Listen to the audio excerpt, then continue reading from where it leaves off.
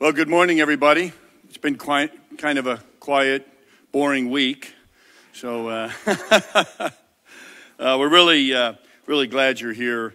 Uh, for those of us joining us online and certainly those uh, in person, uh, welcome to the second installment of the Strategic Land Power Dialogue. I'm General Bob Brown, the President and CEO of the Association of the United States Army. And let me start again by thanking CSIS for this partnership with AUSA. And we couldn't do it without the support of General Dynamics uh, in making this series happen. And we've got uh, GD Land Systems and corporate with us this morning. Thanks for joining us. And again, thanks for the great support to make this possible. You know, Dr. Hamre opened up the first Strategic Land Power Dialogue uh, event a few weeks ago, pointing out the long overdue need uh, to have a forum like this to discuss strategic land power. And, and we couldn't have picked a better kickoff event than having Secretary Wormuth and and uh, uh, now confirmed Chief of Staff Randy George. They did a great job in our first dialogue, really getting after the demands and the changing character and, and the direction the Army uh, is going. Uh, but there's absolutely no better way to follow up than uh, getting uh, General Char- Charlie Flynn, Commanding General of the U.S. Army Pacific, and a really incredible warfighter and Pacific expert, Indo-Pacific expert, here to discuss the role of land power in the nation's uh, priority theater. You know, I saw when I was U.S. Army Pacific Commander that the Indo Pacific is a region uh, where we most fall victim to the myth uh, that there is a short, simple, and clean way of winning wars uh, that does not require land power. And uh, we should start with a historical perspective. Uh, since 1941, the United States has fought three major wars in the Indo Pacific, and all of them uh, have predominantly been ground wars. Uh, we'd be naive to assume uh, that the region uh, and the nature of war has changed so much that this couldn't happen again. Uh, deterring or winning a war uh, as a joint force in the region requires combining the unique capabilities of each service in every domain to pose, uh, to pose multiple dilemmas to an adversary. It's our best hope at deterrent, and if deterrence fails, it'll lead to victory. There will, there will always be a requirement for the Army to defend or impose will where people live on the land. Uh, so, fortunately, uh, as I mentioned earlier, the Army could not have a better leader at this time uh, in the service's most decisive region. General Charlie Flynn assumed command of U.S. Army Pacific in June of 2021. He's a native of Rhode Island, was commissioned into the infantry in 1985. You know, he's, he's uh, commanded uh, numerous times in Iraq and Afghanistan, amazing uh, combat leader, commanded at all levels, from, from platoon to now the largest Army Service Component Command. Uh, but I had the honor to serve with him. He was commanding the 25th when I was U.S. Army Pacific Commander, an unbelievable division commander, just an inspirational leader uh, that understood the region and, and was just absolutely amazing uh, what he did with the division. And then I was lucky enough he would become a deputy commanding general of U.S. Army Pacific and carry me uh, through uh, the rest and do unbelievable work in the Indo-Pacific. He had relationships and an understanding of the region that is uh, second to none, unbelievable, and he's really beloved by our allies and partners in the region. He went to an easy job after that as G357 for the Army. Uh, and uh, as I mentioned, uh, we're so glad he, he got out of there to get to the Pacific. So I go on for hours about uh, Charlie uh, and the region, but I think you'd rather hear from someone in the region daily. And so let me turn it over to Dr. Tom Karako, who will be our moderator in a discussion with General Flynn. Tom, over to you. Thank you, General Brown, and uh, again, thanks to the whole uh, AUSA team for, again for this partnership. so the Army is a big organization. The Pacific's a big place. we got a lot to talk about. as, as General Flynn, General Brown said, you know. Uh, we couldn't do uh, better than to have you out here, sir. I think this is your first time to CSIS. I hope it won't be your last. Uh, we'll have to do this again soon. Uh, but again, land is, for all the talk about multi domain operations, yep. land is one of the domains, and it's the domain on which hum- human beings spend most of their time. Uh, so, to that end, we will start off with the same question that we kicked off the series with, with Secretary Wormuth and General George, and that is what is your view of the role of land power for the joint force, both today and in the force of 2040. Well, f- first of all, thanks, uh, Bob. Thanks to CSIS and, and you for, for allowing this platform to talk about uh, this enormously important uh, region, but also the value of land and land power. So I guess I'll start by saying, before I get into the role of it, um, land is the prize. Because if you control land, then you can control people. And we're seeing that today in Europe, and you're seeing it right now in the Middle East. It's been going on in the Middle East, candidly, for a long time, but you know, this most recent event. And so, uh, and, and what do armies do? Fundamentally, armies do three things. We, uh, we seize, hold, and we defend terrain. And the armies in this region are working to seize, hold, and defend Ukraine, and they want to do that with uh, their partner, the U.S. Army. Why? Uh, because what's happening in the region is the aggressive, irresponsible, and insidious behavior of the PRC. And that force is out conducting operations where they are violating the territorial integrity and the national sovereignty of these countries and these nations.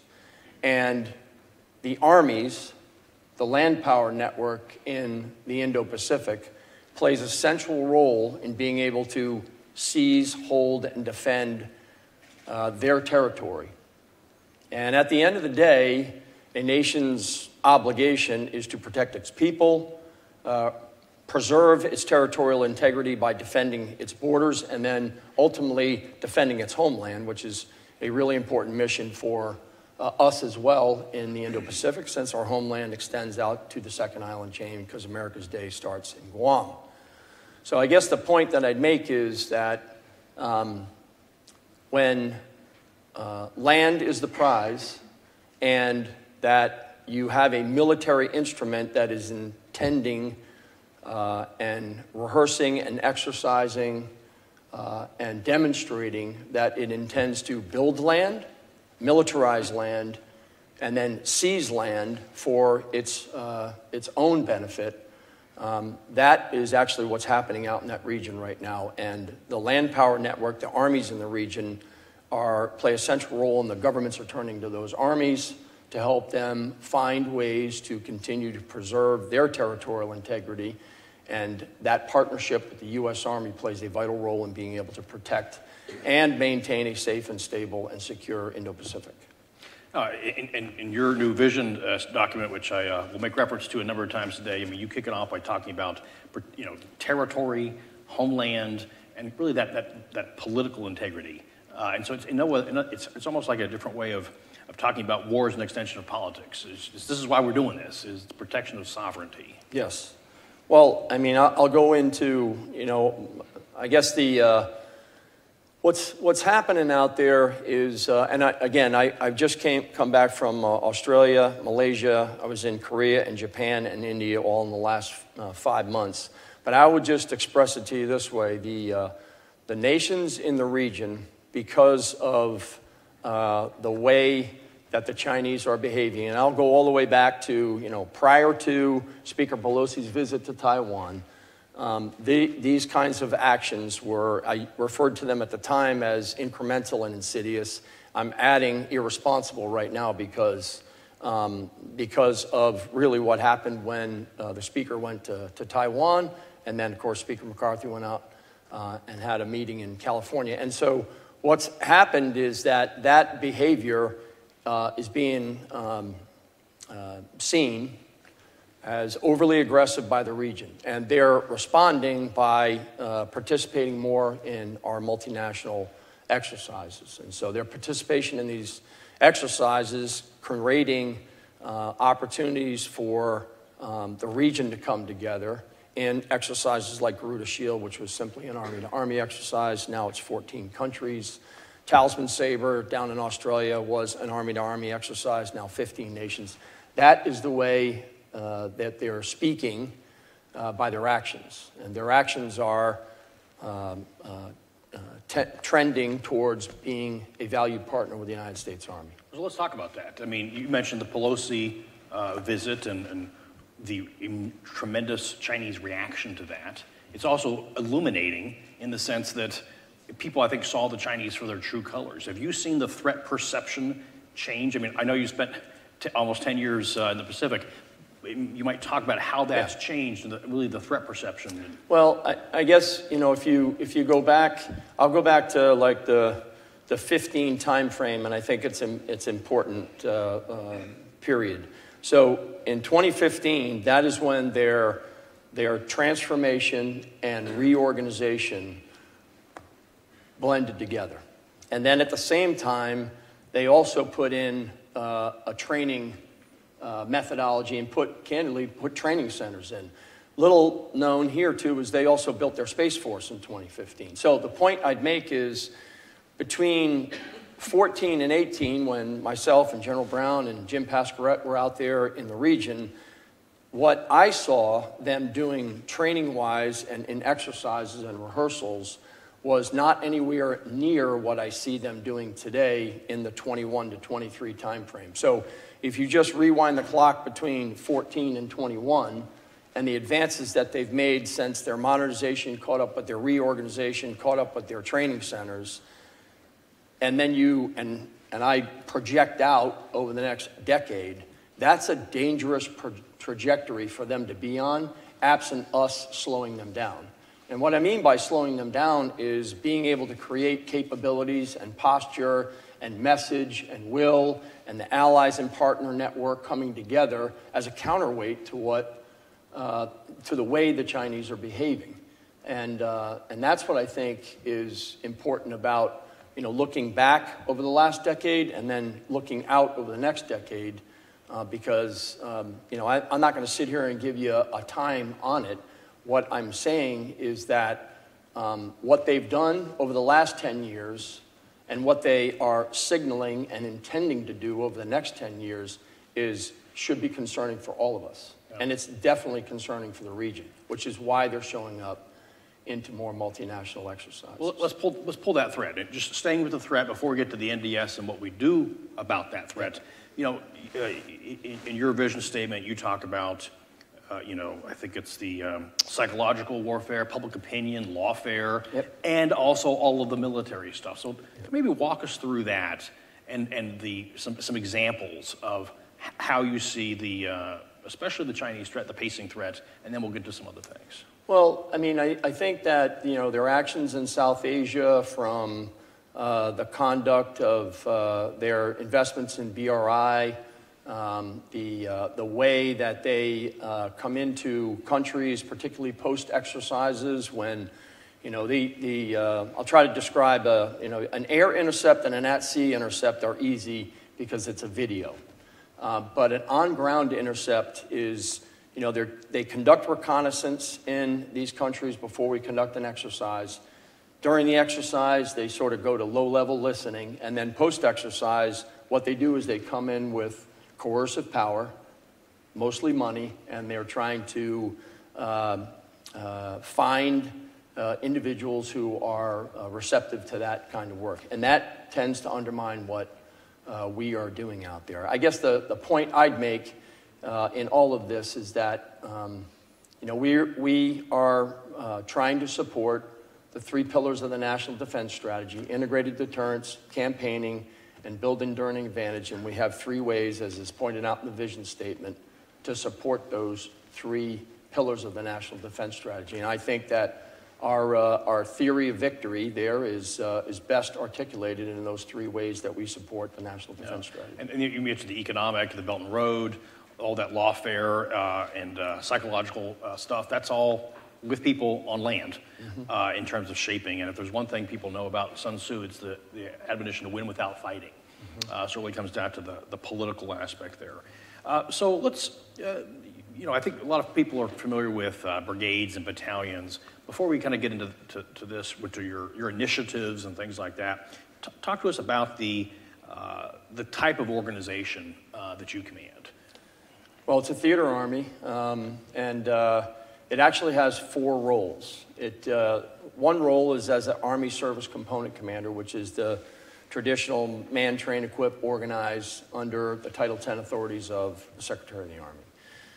There's three other roles that we perform and, uh, and train for, and those are on behalf of the Joint Force. So there's, you know, again, the, the Army Service Component Command is sort of a administrative line of authority to the Army, and then our operational lines of authority to the combatant commander as a TJ FLIC, the Theater Joint uh, Force Land Component Commander, a CJ FLIC, a Combined Joint Force Land Component Commander, or a uh, CJTF. So those three operational hats are the, is the other roles that I play for the combatant commander. And of course, we get certified in training through exercises like PAC Sentry, which we just completed this past year as our CJTF certification. So that, uh, in essence, is um, what a theater army represents. Now, we have a field army in Korea. 8th Field Army is part of uh, the theater army. We have uh, a uh, uh, Army Service Component Command in Japan.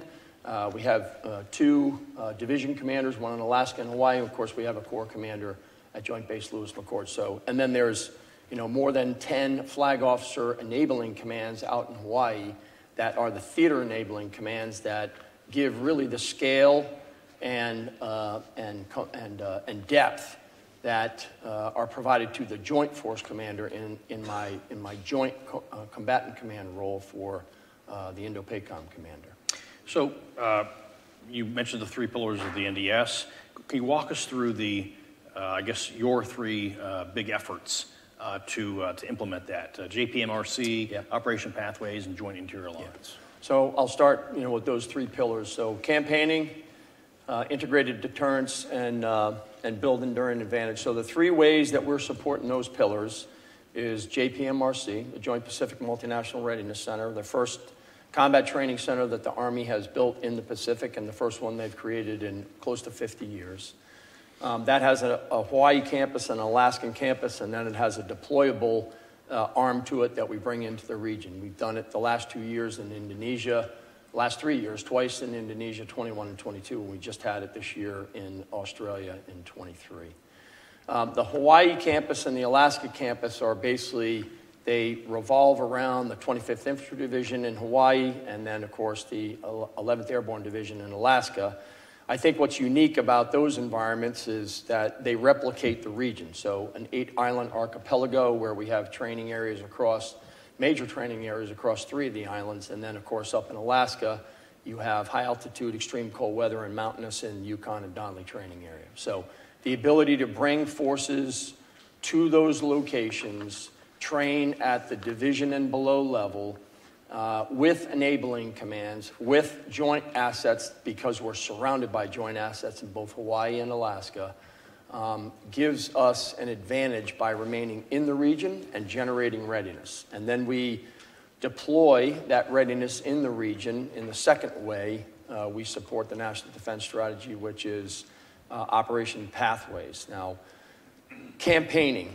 I'll just go on the definition of campaigning. Campaigning in, in the definition of it, it is the logical and sequential arrangement of operations, activities, and investments that benefit U.S. security objectives and security objectives of our allies and partners. So when we have more than 40 joint and Army to Army exercises on Operation Pathways, that is the logical and sequential arrangement uh, in time and space of operations, activities, investments we do over 40 of them a year. Some are joint, some are Army to Army. And what Operation Pathways represents is a series of rehearsals and training venues to conduct our uh, operational approach to campaigning in the region. Um, it's adversary focused, and it really does three things. It creates interoperability between our allies and partners and builds confidence uh, of our allies and partners in our relationship. The second thing, it provides us the ability to increase joint readiness of the joint force forward while we're operating in the region. And then the third thing it does is it denies uh, key terrain, human and physical terrain, uh, from the PRC and the adversary, which they are in the region uh, seeking ways to uh, counter that by seizing terrain.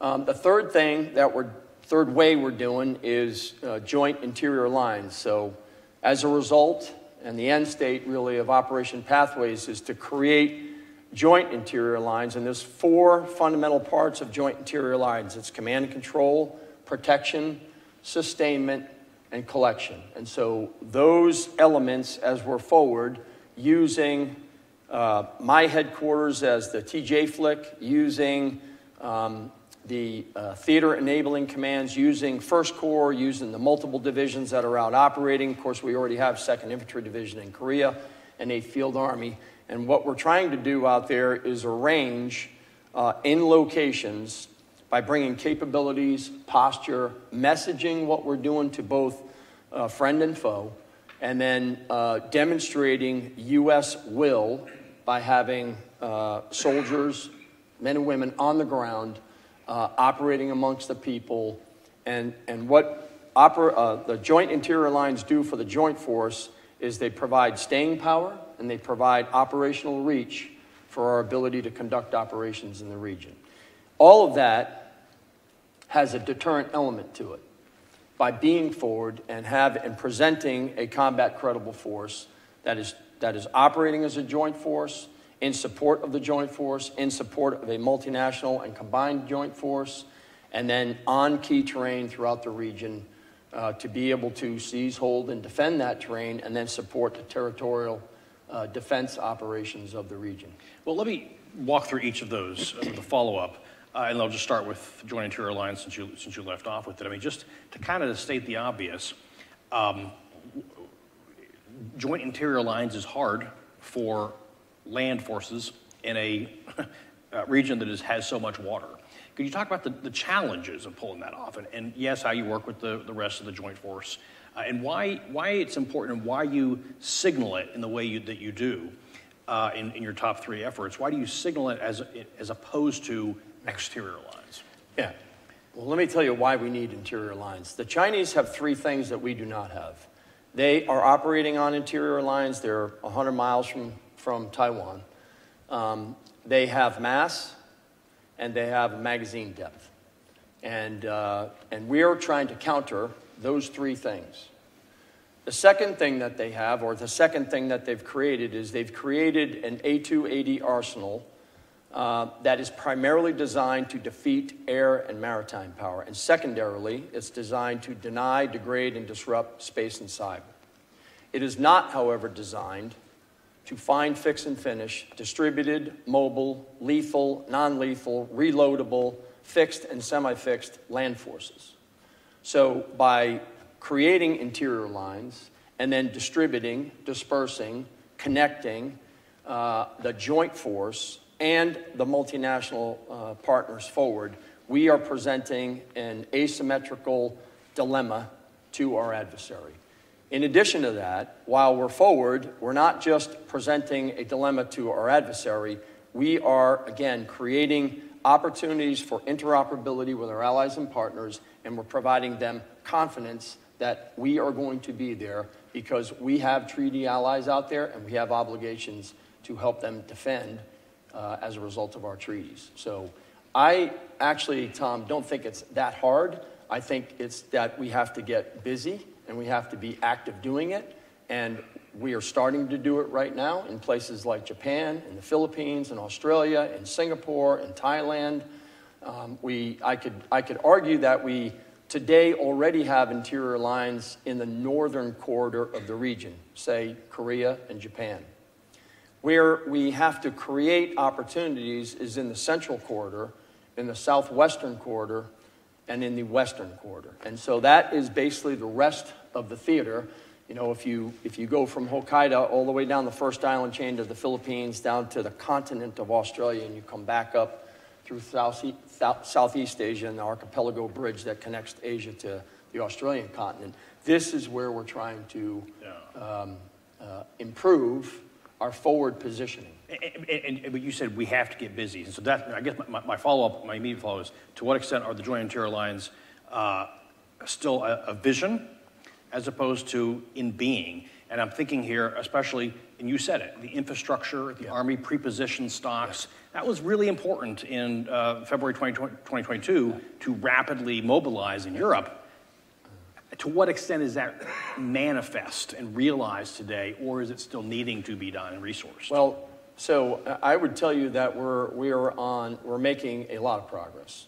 Uh, for example, after Talisman Sabre in Australia, we just left uh, equipment, uh, stay behind equipment in Australia, and um, we're working with the Australian government on the, on the placement of that later. Um, in the Philippines, as many of you know, there were five enhanced defense cooperation agreement sites. There are now nine as a result of the great work of, uh, of the U.S. government and Department of State, Department of Defense. Um, we also have a lease in Subic Bay. There's 300 million square feet in that lease in Subic Bay and Hanjin Port. Um, and we are doing maintenance of equipment in that port today. Um, and that is a great uh, location to be able to then support uh, the nine EDCA sites there. Of course, many of you know that we have uh, pre-positioned stocks in Japan and Korea already, our APS-4. We have APS-3 of seven vessels afloat. And what we're trying to do in places like Japan, throughout the Southwest Islands, in the Philippines, uh, into Australia, Singapore, Thailand, is to be able to distribute what was once large stocks in Army pre-positioned stocks. And this is the this is the work that is ongoing with Army Materiel Command and INDOPACOM and DLA, SDDC, and the entire logistics enterprise, which is to disperse those pre-positioned stocks and I refer to them as activity sets because what we're trying to do with these activity sets is activate them more often during training, rehearsals, deployments, and exercises so that we're exercising the uh, issuance and recovery of that material. The other aspect about these activity sets is um, that I prefer to the material that we put there as uh, uh, they're consumables and they're dual purpose. In other words, they're consumables that we can use while we're out training and exercising, but they're also dual purpose because a band aid is a band aid is a band aid, but also is an, air, an airfield repair kit. You're going to need it during a humanitarian assistance disaster relief operation, which happens quite often out there, but you're also going to need repair kits in the event of a crisis or conflict in order to repair damaged airfields. So um, I'm actually I'm excited about the gains that are being made with our posture. There is still miles to march before we rest. However, I will say uh, that some of those gains that have been made here, at least in the past two years, are, uh, are very positive and they're trending in an increasingly positive direction. Yeah. Let me ask about the M in JPMRC, the, the multinational part. Right. Uh, you know, you, you already mentioned the, the, the yeah. Philippines and the Australians in particular, uh, but the, uh, you know, the Security Force Assistance Brigades. Uh, talk to us, you know, what are those and how are those uh, being manifest, your efforts? Well, there? the Security Force Assistance Brigade is a, is a great add to the region. I, I could actually use two of them out there just because of the uh, expansive uh, nature and the role that they play. So, generally speaking, the SFAB is in 12 to 14 countries. Um, and the way we're using the Security Force Assistance Brigade is in my dialogue with the Army chiefs in the region, I basically uh, ask them what are their needs. How do they need assistance with uh, training, education, leader development, any number of things. And so, in the dialogue that I have with the Army chiefs, uh, we come up with a, um, uh, a path for that particular advisor team to work with their Army. Some countries we have, you know, one advisor team of, of about 18 people. A team is generally about 18. Uh, in other countries, we have um, a number of them, two or three, depending on the scale, timing, and the needs of uh, that particular uh, force. Um, and so this is uh, uh, one of the important elements I think that's added uh, our capability in the region. If I can, I'm going to stay on this point for just a minute. Yeah. I think that one of the more important parts of the Army's modernization, or now what General George is referring to as continuous transformation, and it's, uh, it's lost a little bit in the noise of uh, the development of weapon systems and platforms, is the organizational changes that are happening in the Army. So let me point to four of them that are, have been central uh, in the Indo-Pacific and particularly for U.S. Army Pacific as the TJ flick. The first is the Security Force Assistance Brigade, as I just talked about. The second are the multi-domain task forces, which were with me this week uh, on a panel at, uh, at uh, AUSA. The third is a theater fires element that is in my headquarters to conduct um, uh, joint fires. And then the third, uh, the fourth rather, is a uh, theater information advantage directorate. And so um, one of the missed uh, stories, I think, in the Army's transformation is this organizational adaptation that is going on and this organizational transformation that's adding value to the theater army and adding value to the joint and combined force at the operational and theater strategic levels of war. Um, these organizations, and I'll use the multi-domain task force as a really good example, and probably and the Security Force Assistance Brigade as well. Um, the multi-domain task force came out of a concept, and in 1819, uh, we were having difficulty understanding its role and at what echelon it should operate at. We had an O&O through the great work of uh, of General Bob Brown, who actually brought that from the Combined Arms Center with Dave Perkins out to the Pacific. And the O&O is basically the organizational table to do it. But then a decision was made uh, to, to put that at Joint Base Lewis McChord. Actually, it went to Joint Base Lewis McChord when the current chief, Randy George, was the first Corps commander. And then we stood the multi-domain task force up. The organization itself, we put a brigadier general in charge of it, and I'll just say, you know, in broad terms, around the 19 timeframe, uh, that was getting built and organized. Well, it's 2023 today. And uh, what I think is really important here is that organization is three years in front of the delivery of the new weapon systems that are, that are on the way. So, mid range capability with SM 6 and Tomahawk, um, uh, IBCS, LTAMDS, PrSM, uh, hypersonics, you know, you can go down the list. And while those things are important, the most important part, I believe, of the continuous transformation that's going on in the Army right now is these organizational uh, adaptations and these organizational transformations that are going on that are able to then deploy and employ those weapon systems when they arrive. So if you think about it in reverse, had we just issued new weapons platforms to a formation and the formation was a legacy formation, it would not understand how to employ those weapon systems. So the improvements in human, technical, and procedural interoperability are being done now and have been done for three years so that when these new weapon systems arrive, that the organization the multi-domain task force, the theater fires element, the information advantage directorate, the security force assistance brigade. They are all doing intel.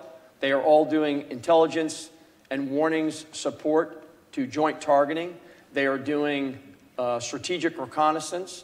They are doing lethal and non-lethal targeting, and they are see, seeing, sensing, and making sense and understanding what's actually happening out in the environment. And I think that that is a really, really important part of what the Army is doing right now, and it's not getting enough mention. So I'm happy to. You're preempting that. all my questions here, but but we'll we'll, dig, we'll, we'll, we'll run, th- run through a lot of those. Uh, you know, the LRHW battery already out there. Uh, even though the, the, the, missile isn't there, for instance. Uh, so let me um, stay with the organizational thing there. Um, it also brings to mind a lot of what the Marines uh, have been doing with their new uh, concepts and, and, things like that. Um, how much you mentioned General Brown and the MDTFs and all this sort of thing. How much new experimentation and new organization is yet to be done? And are those, to what extent do you, do you think those new organizations and uh, such things are being sufficiently resourced? Well, I think they're being sufficiently resourced. I'm, I'm pretty pleased with what, you know, the, those four that I just mentioned. I'm, uh, I, again, I could use another SFAB out there, but, you know, I mean, I don't think you're going to find any commander that's not going to want more, right? But the fact of the matter is, I, I think the size uh, and the skill sets of each four of those are, are uh, adequate for what we're doing out there right now. Um, so I'm, I'm, I'm pretty pleased with the way they're organized. Well, let me ask about the, the, the MDTFs then. Um, you know, you, you rattled off the, the Tomahawk and the SM6 and, and su- such things. I, I think uh, it's usually associated, I associate it with you know, basically long range fires and air defense. Uh, but to what extent is it, is it a fires formation or is it a maneuver formation? It's a maneuver formation that provides fires. I'm, I'm going to actually come back to JPMRC on your previous question about experimentation and exercises.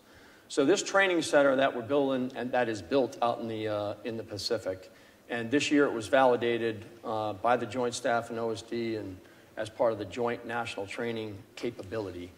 Um, so it's recognized uh, by three pillars uh, in it. The experimentation that can go on at a training center uh, across uh, the islands of Hawaii and then into the region, um, particularly out into the second island chain, is a really important part of, uh, of what we're doing. Same thing up in Alaska. Again, we're surrounded by joint assets. The multinational partners are coming to these locations. And to be able to bring technology, organizational adjustments into uh, those training venues and then be able to extend it into the region is a really important part of what we're doing. So let me give you an example. Just recently, we just finished Talisman Sabre in Australia.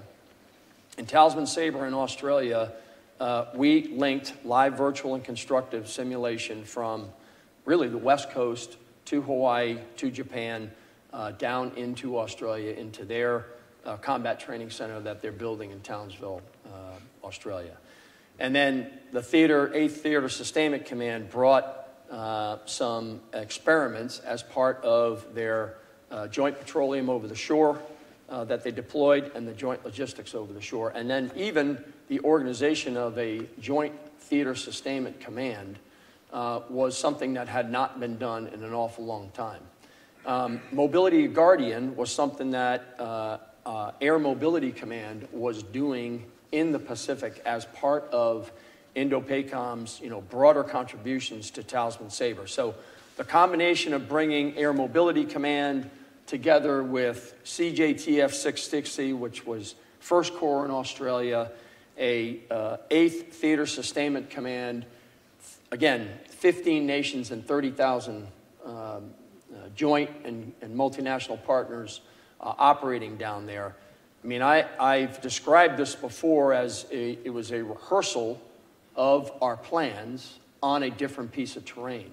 And I think that that's, that's the benefit of what JPMRC represents in the region for the Joint Force. While it's an Army training center, we're out there doing ACE operations working with PACAF. The 3rd MLR, the Marine Littoral Regiment that the Marines have stood up, is based in Hawaii. The 3rd MDTF is based in Hawaii. So we have synergy by location by having the Joint Force together to be able to do these really important uh, training exercising and, and, and if we're smart about it, and we're being very smart about it right now, is we're inserting uh, experiments into each of these training exercises to be able to learn, grow, and develop from how we're operating out there. Just want to remind folks we do have uh, the, the submission of questions online. Please do. I see several good ones coming in from reporters, which I'll get to uh, in just a minute. But let's stay with the with the MDTFs there. Uh, for instance, I know it's been, as you said, several years. Uh, you know, again, curious how they're coming along. The reason I started to ask you about maneuver versus fires is, you know, precisely because they're blending uh, different things. And I wonder if you could speak as well to some of the non-kinetic things uh, that the MDTFs are, uh, are developing and, and, playing with? Well, I mean, I think the, uh, I think the theater information and, you know, uh, directorate that we have in our headquarters, as I mentioned, that and the combination of the um, uh, information, intelligence, electronic warfare, space, and cyber teams inside the multi-domain effects battalion, the work that they're doing together um, to understand what's happening with misinformation, disinformation, uh, cyber penetration, uh, what is actually happening uh, in the space domain and the effects that it's having on the ground. Those kinds of things are, is the, is the great work that's going on now between, again, two new organizations. When I think about if we had not had the Theater Information Advantage Directorate at the Theater Army working for the, the Theater Joint Land Component Commander and being able to tie that uh, with, with our corps headquarters down to multi-domain task forces who are forward all the time. Again, they are, they're forward seeing, sensing, and making sense to understand what's actually happening in the environment. And when I say in the environment, I mean in the environment, inside the theater, and in all the domains. So I'll give you an example.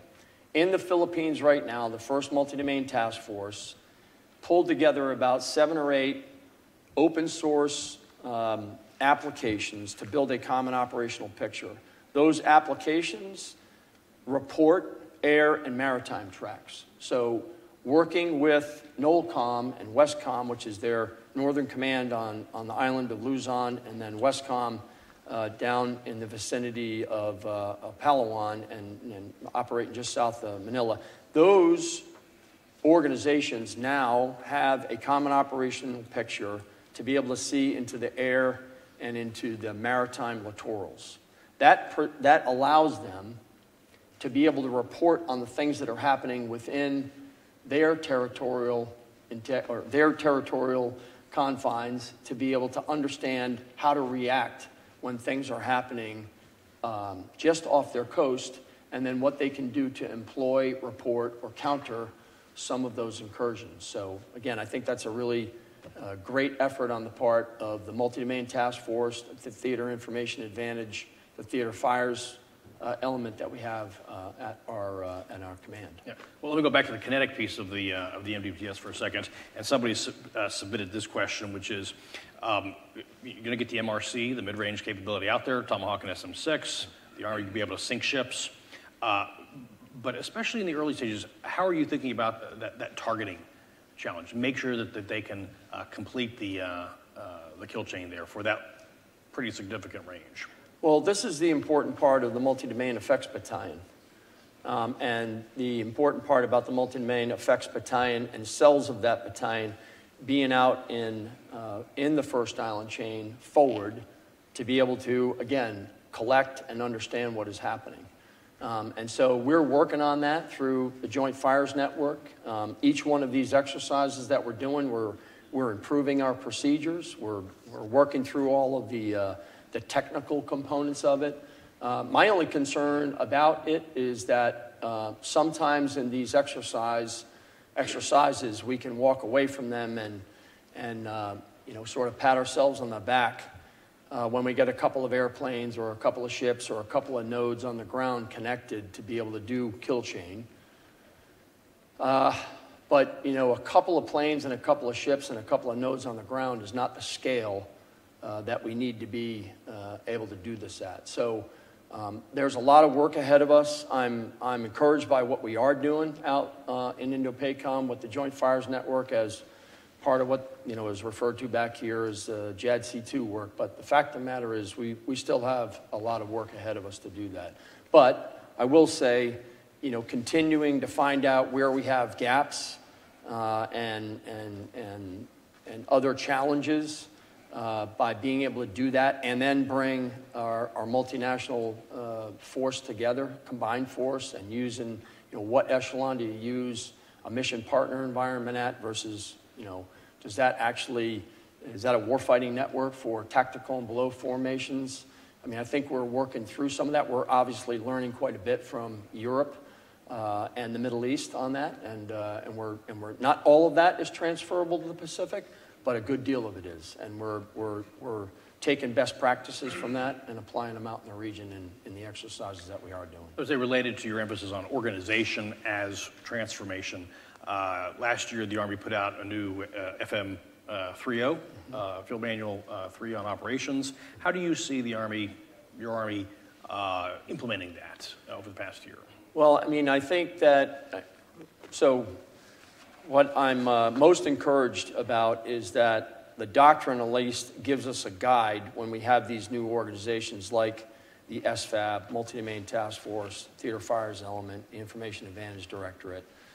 Um, I think the next step in this is that we need to take uh, the concepts of agile combat employment, um, distributed maritime operations, expeditionary advanced basing within the Navy and the Marine Corps and the Air Force.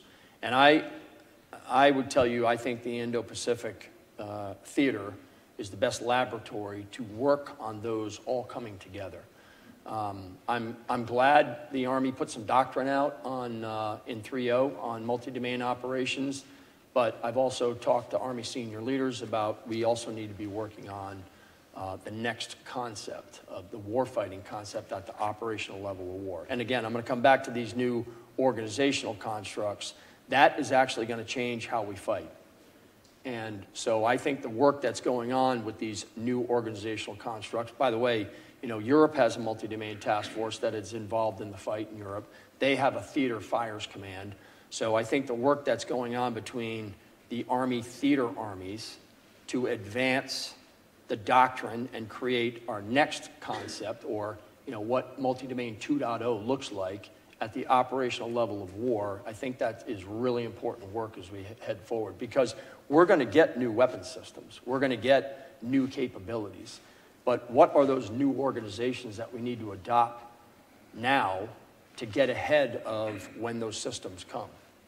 Let me weave in a question from the audience here, because um, I think it'll set up some of the other topics we want to talk about. Uh, this is from uh, Tony Capaccio from, uh, from Bloomberg News, uh, and, and, he's talking about China as the, the pacing threat. And he says, What's your assessment of China's current and projected uh, by 2027 capability to conduct combined ops uh, against Taiwan? Well, I, you know, again, year aside, what I would say is that I made this comment earlier. What, what I have seen them doing in the last decade, when I, you know, put a marker down on 2023, uh, and I think out to 2033 over the next decade, um, the advances that they've made in the last 10 years, I, I will assume that they can continue to make advances in the next 10 years. And to me, that is a, um, that is a trajectory that is very, very serious and dangerous. Um, and so, this is why I think it's so important what we're doing out there right now, uh, with at least the three ways that U.S. Army Pacific is contributing to INDOPACOM's theater campaign plan and to the National Defense Strategy. So, uh, we, we, talked earlier about the, the win without fighting thing, uh, but and you have to prepare for for the more kinetic side of the house than the, uh, the more the insidious economic and other pressure things. So, you know, how do you think about the Chinese invasion of Taiwan as a follow-on to Tony's question uh, relative to the win without fighting thing? Well, I guess what I guess what I would say is that um, this is back to interior lines. Like we have to have in that theater. There's a lot that has changed in that theater, but the geography has not. You have to have command and control, sustainment, protection, and collection forward first. Everybody wants to have a discussion about fires and maneuver. You have to have those four warfighting capabilities at the joint force forward first. Because if you put fires and maneuver out there first, and you can't sustain it, you can't adequately command control it, you can't adequately protect it, and you can't adequately collect in order to inform it, then you're wasting your capability. So, you know, I, I don't, I worry less about what they're doing and I worry more about what we're doing. And we have to get in a position right now to counter what I just explained as their trajectory through training and exercising and rehearsing. That is a dangerous path that they are on in the next 10 years.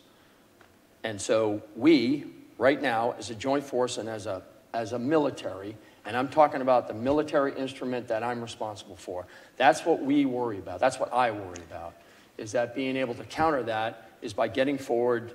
And the three ways that we're trying to do it is train, generate readiness, apply that readiness in the region through campaigning on operation pathways, and create interior lines to take time and space away from the insidious and irresponsible behavior of the Chinese. You know, I, I was, uh, to that point, I was recently on Guam, I think maybe a month or so ago, and what I, what I heard about was, you know, hey, we don't have enough repair depots. Back to your point about infrastructure, like, we can't be calling back to Hawaii for spare parts uh, on a bad day.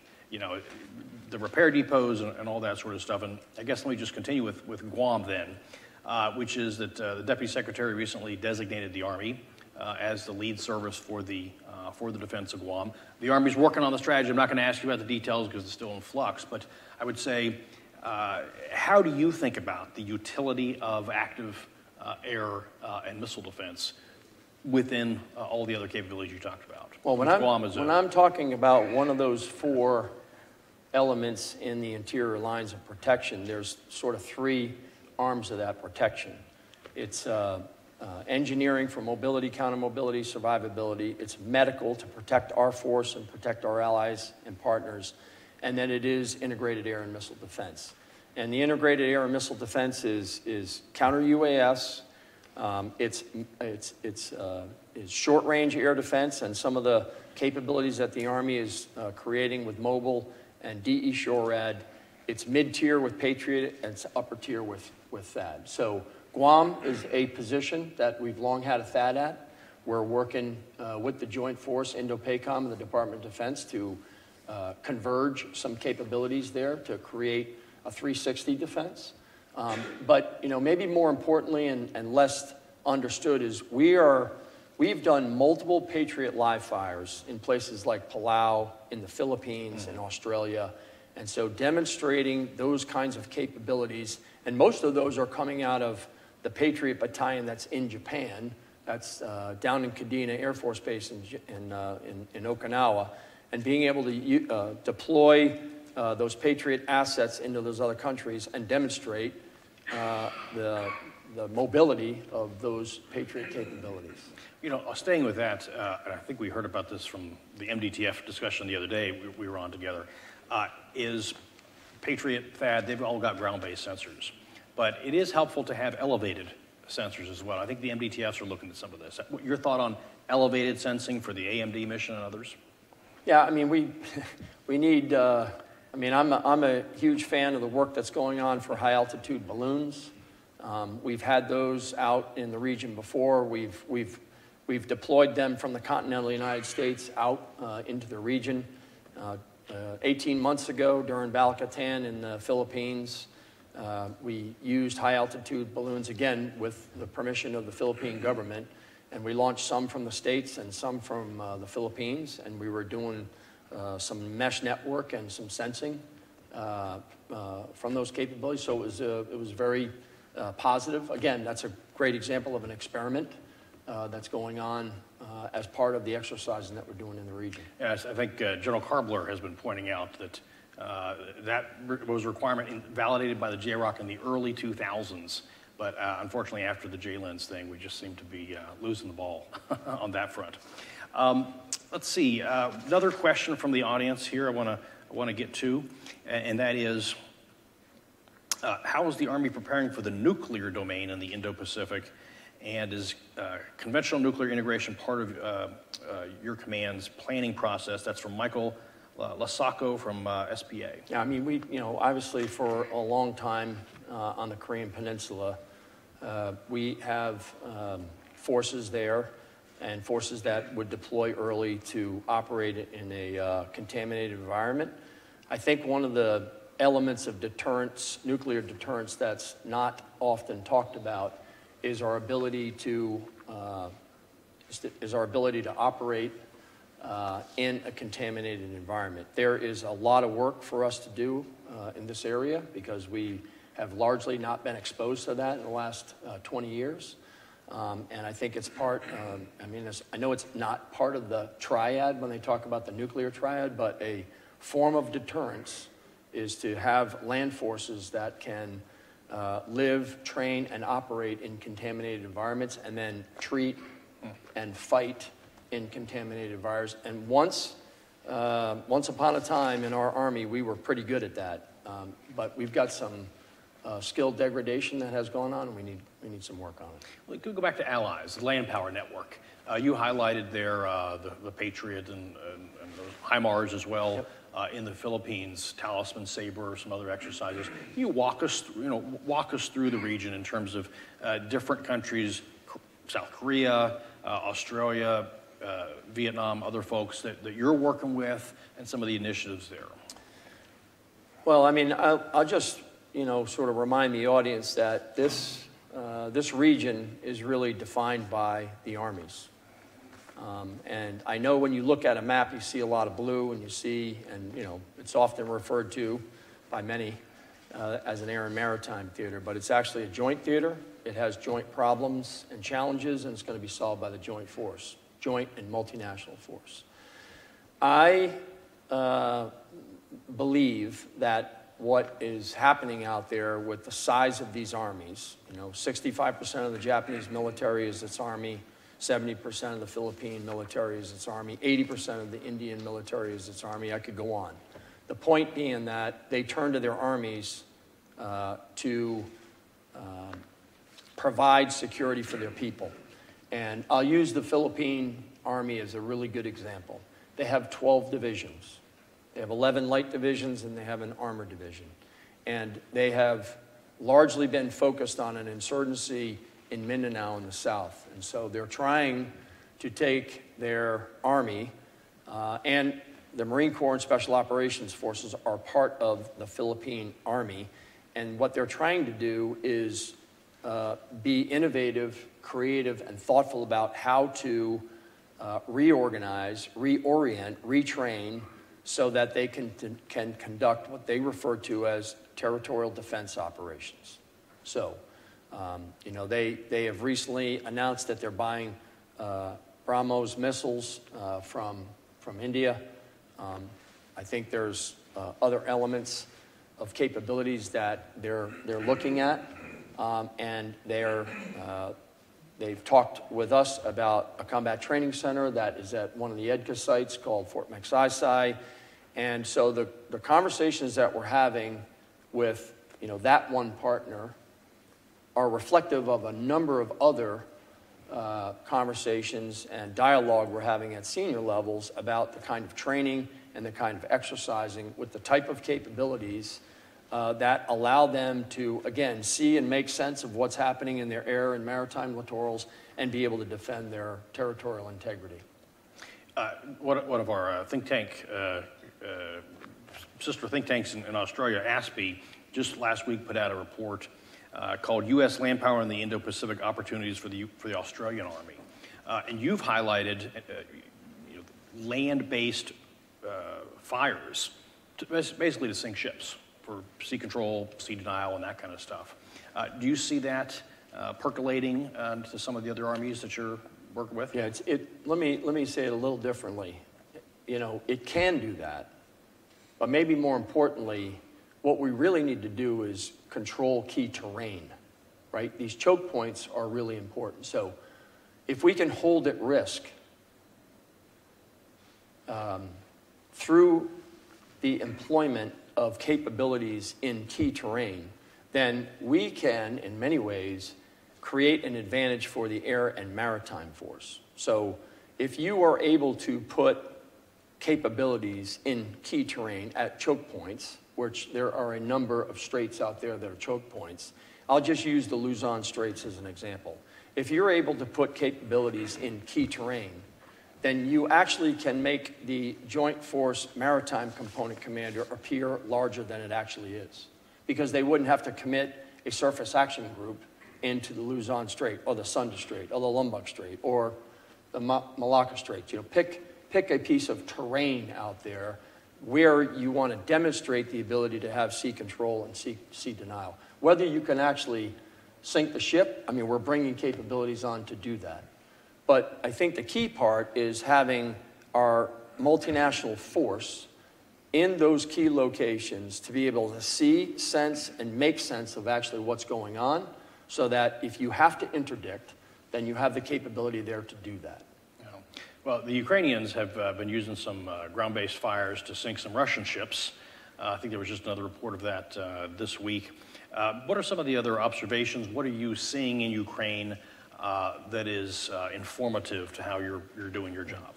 I think there, I, I, I think that three things. One, um, training.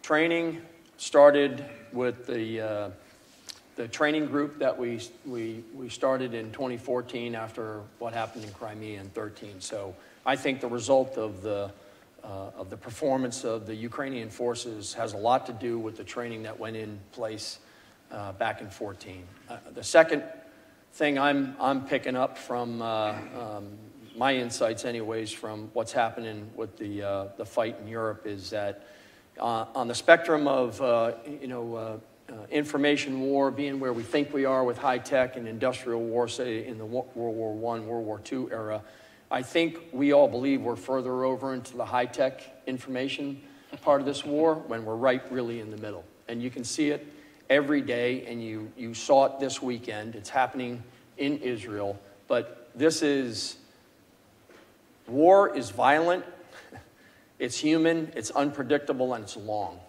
And so, what you're seeing out there is uh, where we think we are with high tech and exquisite information, but the reality of it is, you know, low cost and committed forces who are well trained have a enormously important role on the battlefield. The second part of what I'm taking away from uh, the fight in Europe is when I was a young officer, I think that my close fight, I needed, and I was trained by many in the audience, to be able to kill everything at 1,000 meters and then be able to suppress everything at about 15 kilometers. Um, and I think that today's close fight for Captain Flynn and Captain Brown is now about 35 to 40 kilometers. And that is because of the ability of unmanned systems to be able to sense, to be able to uh, detect, to be able to strike, to be able to jam, uh, and be able to conduct reconnaissance uh, of in a wide range of areas. And I think my view on this is that that has a profound cha- that is going to have a profound change in how we train our junior NCOs and junior officers. Um, and so, and then the other part of that particular aspect, and I'll use this in the Indo Pacific, is now from the land, from the land, we must be able to kill and then suppress at the close fight down at the very, very most junior tactical level of command, the company, battery, and troop level, out to 35 kilometers. That is a, that's a major difference. And they, they need to be able to, again, kill and suppress on the land because we're a land force, but that land force also needs to be able to suppress, identify, strike, sense, and jam in the air littorals and in the maritime littorals out to 35 and 40 kilometers. Well, That is a big difference on how we train, big difference on how we educate, big difference on how we equip and conduct leader development. And, and that, that part to me is uh, one other point. Um, my takeaway from what's happening in Europe. Our equipment works. The U.S. systems work. And, and, and I, I guess I would say is the, the arms dealer, in, particularly in my part of the world, in the Indo-Pacific, is largely been Russian. And I think that there are, uh, everyone is waking up to the fact that maybe some of their stuff that they have is not so, not so capable. Yeah, verily.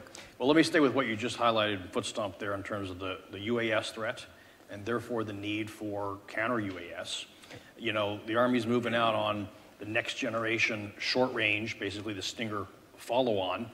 Uh, I suspect the demand for that in your part of the world must be tremendous. Yes. Uh, but likewise, the Army is also the lead service for counter UAS. And we've got General Sean Gainey, Yep. who's the head of the, the, uh, the JCO. And Yep. what's he always talk about? Yeah, there's all kinds of interesting widgets, but we need capacity and training.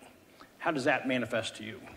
Well, I mean, I think there's a lot, in fact, the, the 25th Division is getting, they've already got some commercial off the shelf. I mean, this is a challenge I think that General George has rightfully placed on all of us. They're, they've uh, already got some stuff on, uh, you know, on hand right now that can be used in training uh, to actually put, you know, red UAS uh, up uh, against our, uh, our forces in the field.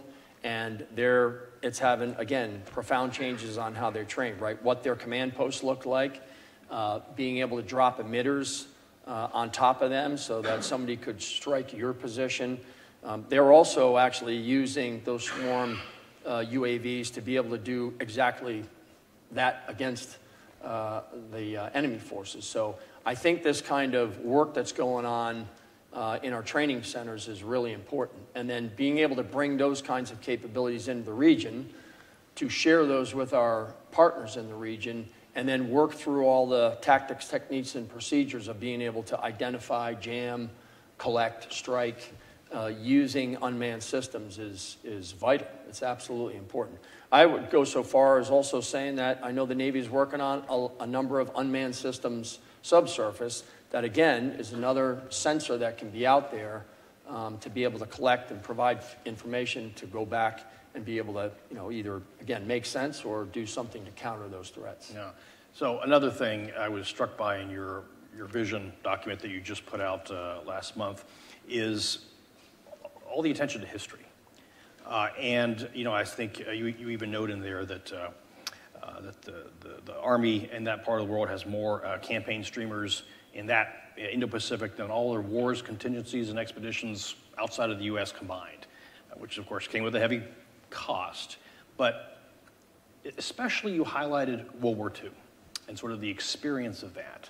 How, how do you think about that? What are the, the lessons, what are the episodes and the events uh, and the tragedies of that conflict that we ought to be thinking about today? Well, uh, first of all, I think that uh, many people forget there were actually three theaters of war going on out there. There was the China Burma India theater, um, there was the Southwest Pacific area, and then there was the uh, Pacific Ocean area. Um, and so, you know, just the, the size of that theater uh, warrants uh, an army to be able to provide the depth, scale, and operational endurance uh, as a land component in support of the combatant command.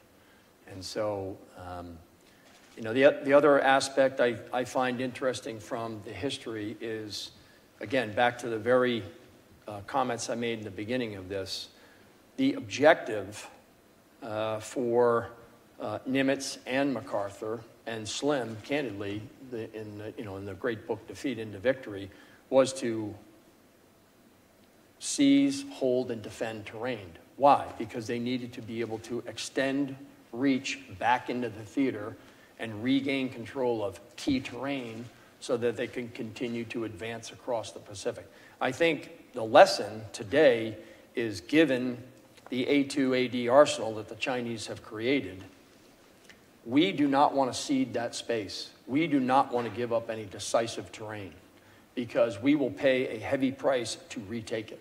So that is essentially why I believe that our approach of training in the region through JPMRC, conducting campaigning through Operation Pathways, and the creation of joint interior lines provides us, in my view, um, you know, an operational approach and a theory of victory, if you will, to be able to deter uh, and then have a force credible, combat credible, in position in the event that that deterrence or assurance would fail.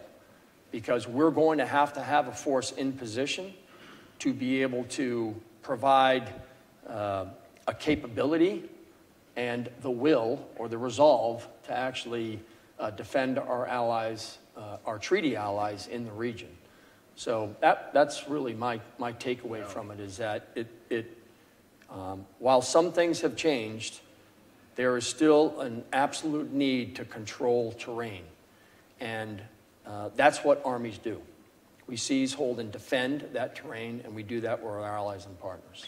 I always like to ask folks kind of what, what, what you're reading and what you think other folks, whether it be soldiers or folks here in DC or the, the, the broader public, ought to be reading to, to really not just understand the history. You mentioned one book along the way, but also other just perennial lessons. I mean, John, power. John McManus, Dr. McManus's, his, his trilogy is fantastic. And, and I'm, I'm a huge fan, I mentioned earlier, I'm a, I'm a huge fan of, uh, of Slim's book on, uh, on defeat into victory. I think that's a wonderful book.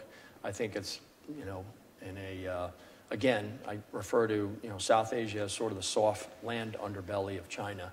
And um, there is a lot going on between, you know, the, the country of Vietnam and Pakistan in Southeast Asia. And I just, I reread it here recently because I spent a lot of time on airplanes flying around uh, Asia. And I think that those, those books right there are, uh, are very insightful uh, and helpful by way of lessons for all of us to uh, be mindful of. Excellent. Well, look, we've covered a lot of uh, a lot of territory and, and, and topics here. Uh, anything you want to close out on in ter- that we haven't hit on that you want to want to uh, No, I'm stop ju- again? I, I, I appreciate uh, this venue. Um, it's, uh, it's long overdue, so I'm thankful that we have this, uh, this strategic land power dialogue here at CSIS, and uh, I, um, I'm, I'm, I'm thankful for the opportunity to be able to come up here and have this platform to share some of my thoughts on what's happening. Well, thanks for your time and thanks for your leadership. You. And uh, please join me in thanking uh, General Flanagan.